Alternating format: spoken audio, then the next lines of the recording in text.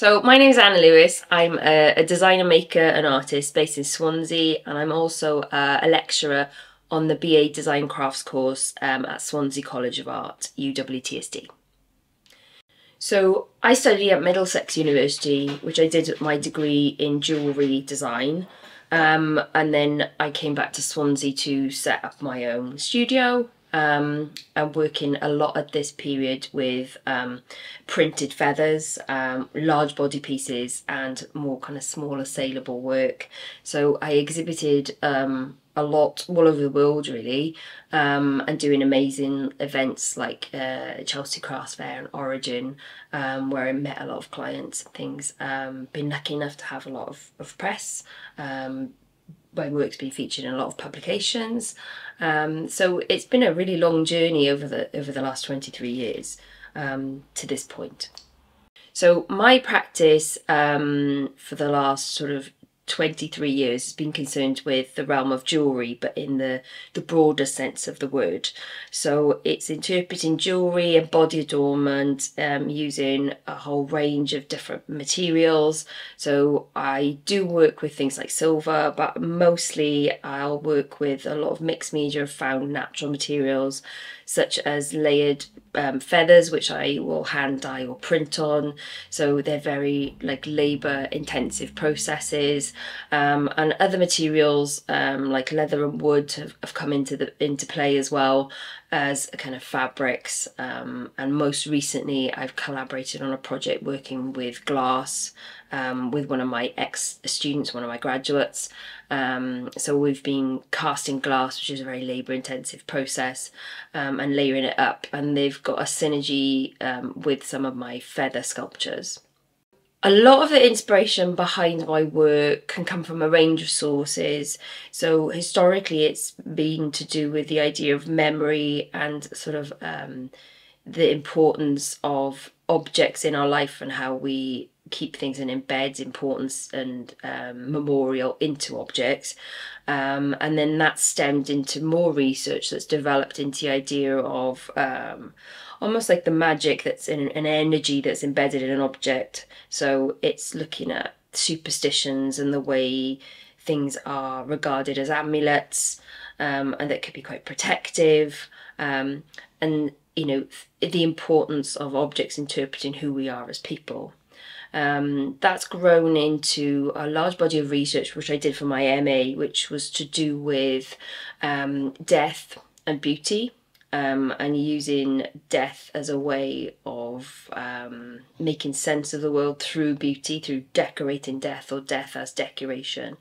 Um, it's tied in with the idea of our relationship with, with animals, the human, animal, and nature, um, and how I wanted to capture the beauty of something before it faded forever.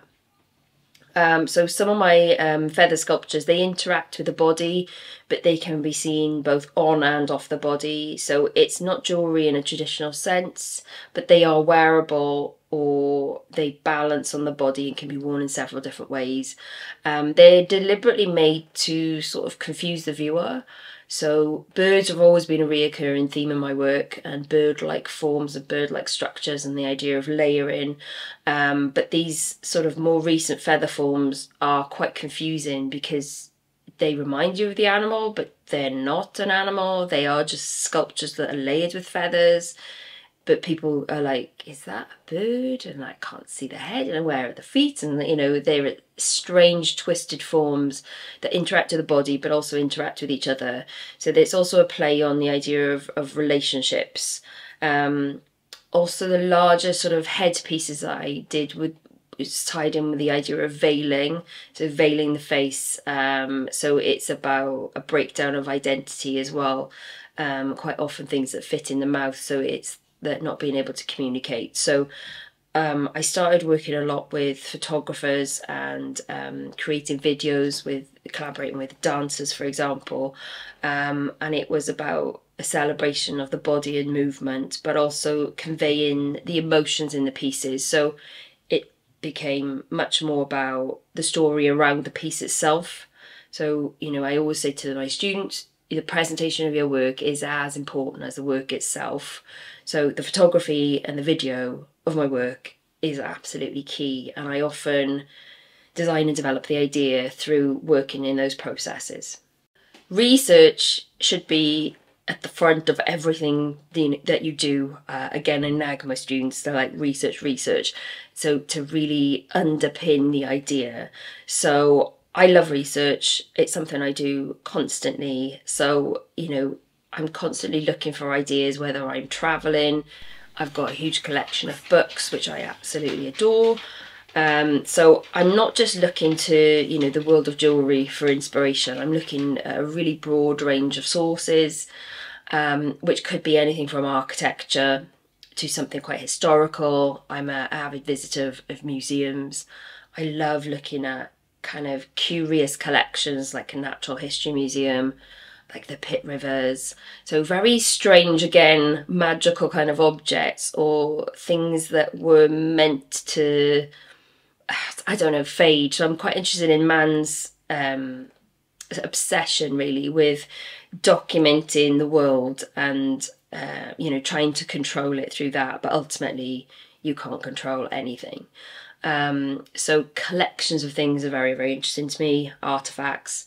Um, and I do collect quite a lot of things myself, so it's important that I'm surrounded by quite curious um, kind of objects in my own home. Um, so my own kind of house and studio has become um, a little bit of a, a curious museum in itself. So it's it's almost like an open sketchbook in terms of the inspiration behind it. In terms of working processes, it could be that I work in a number of places. So I work at home a lot. It might be that I need to get the big table out or I work in a studio. Um, I also work in the university if I'm researching. Um, like I said, I collaborate a lot with people. So it might be in the photography studio, out on location somewhere. Um, I do like time to work alone, but I equally really enjoy bouncing ideas off other people. So you know, when I'm teaching, I see that as an exchange of ideas as well. So it's not just me, you know, teaching a student. I feel like I learn as much from them as they do from me. Um, so, you know, we've got amazing facilities in the university and the art school. So um, I think it's important as a tutor to explore those in your own work so that it kind of really benefits your teaching delivery um, and helps the students to see what it is that you're doing and work together on that.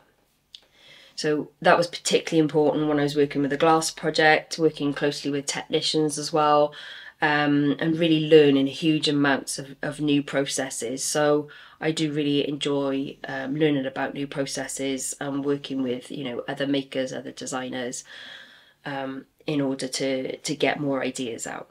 So more recently, I've been working with digital tools. So again, seeing that as another technique, another tool. So looking at CAD and 3D printing. Um, I did a residency um, a few years ago using 3D printing to create kind of these layered feather structures for the body. So that was an interesting process, creating objects that I couldn't create by hand. So the idea of almost creating an impossible object is also interesting to me as a maker. Um, and again, seeing how I might manipulate that later on in the process by hand. Um, looking at, you know, virtual reality drawing, um, even this um, notion um, of AI, which is talked about a lot um, lately how as makers we could maybe use AI to collaborate with, but then manipulate it further on and using our skills, which obviously digital um, can't recreate. During the lockdown, um, I got to refocus and I decided to explore a passion that I've always had. It's always been running alongside what I'm doing. Um, and that was to investigate designing eyewear. So I'm an avid collector of sunglasses. I've got drawfuls of them. I love them. Again, it's to do with jewellery because it's about body adornment. It's something that takes up a huge section of your face. Um, so, you know, I just feel that the importance of wearing good eyewear is is as important as wearing good jewellery or good clothing. So I started to explore that a little bit before the lockdown. I, I went and learned how to make spectacles, um, and then I won a competition designing them in lockdown, and it just sort of spiraled from there. And I was working with um, business coach, um, and started to set up my own brand um, of eyewear. So it's called Ffin Eyewear. So I run it alongside my other work, um, and I feel like they really feed and influence each other. So um, I've just launched um, a range of, of eyewear um, so sunglasses, and I won two awards at 100% Optical, which was very exciting um, last month. Um, and so now I'm starting to design more collections and starting to reach out to optical stockists and press and things like that. So seeing where I could go with the eyewear, but also thinking about quite creatively how can I manipulate that and use my skills as a maker to really kind of make these one-off bespoke or even objects that don't exist as well. Again, drawing on the importance of research in terms of how I approach eyewear, I very much approached it as an artist, as a maker. So the concept behind the brand and the designs in the first collection is all to do with line. So it's about kind of crossing lines having a rebellious edge and the visuals all come from lines and edges at things at the very kind of frontier of things. So the word ffin, which is double F-I-N, is a Welsh word and it means border, boundary or frontier. So that again is very appealing in terms of the themes that I was looking at. So, you know, it could be that I get inspiration from looking at lines and intersections on the roads. Um, I was doing a lot of walking during this period, so it's that kind of distance and journey um, mapping of, of space and mapping of where we navigate cities. Um, so it does have a kind of very urban edge, uh, very clean cut lines and curves and slices and facets. Um, is what really, really drives the designs behind this and the, the whole ethos and the graphics of the brand. So my current focus and future direction is is in designing the eyewear, but using my skills as a, a jewelry designer maker as well to influence that to offer something a little bit different. So I think in terms of the eyewear, I would like to develop this very much idea of the one-off special bespoke piece and I do want to really question the involvement of digital design processes as a maker in you know how I can manipulate that and what that outcome might be. So I'm really excited to see where that may go and how I can use that to influence um, the development of the work, which might again go back to these larger sort of body pieces as well.